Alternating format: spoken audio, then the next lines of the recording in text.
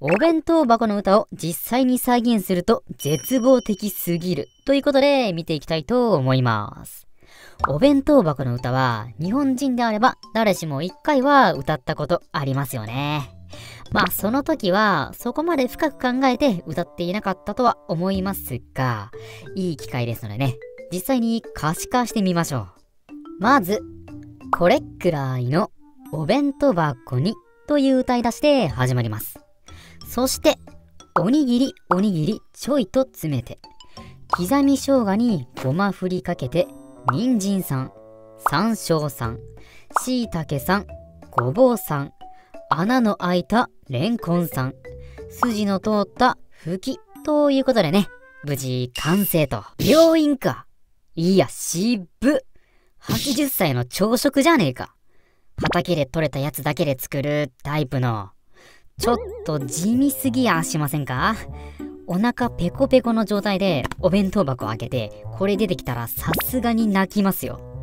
2、3日親と口聞かないかもしれませんね。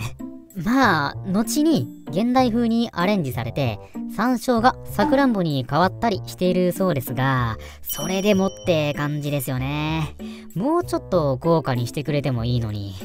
というのも、実はこのお弁当箱の歌は数え歌にもなっているんです。人参さん、山椒さん、椎茸さん、ごぼうさんといった具合にね。なるほどと。これじゃあ、唐揚げやハンバーグが入る隙はありませんな。というか、1ないんだ。2からなんだね。変わってんな。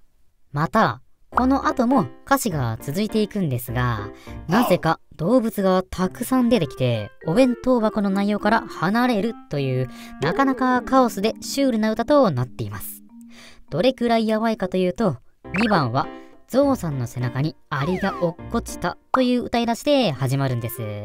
逆に気になるわ。ちょっと変わりすぎて怖いまでありますよね。概要欄に全部の歌詞載っけときますので、よかったら見てみてください。少しでも皆さんの知識や話のネタになれば嬉しく思います。ではでは。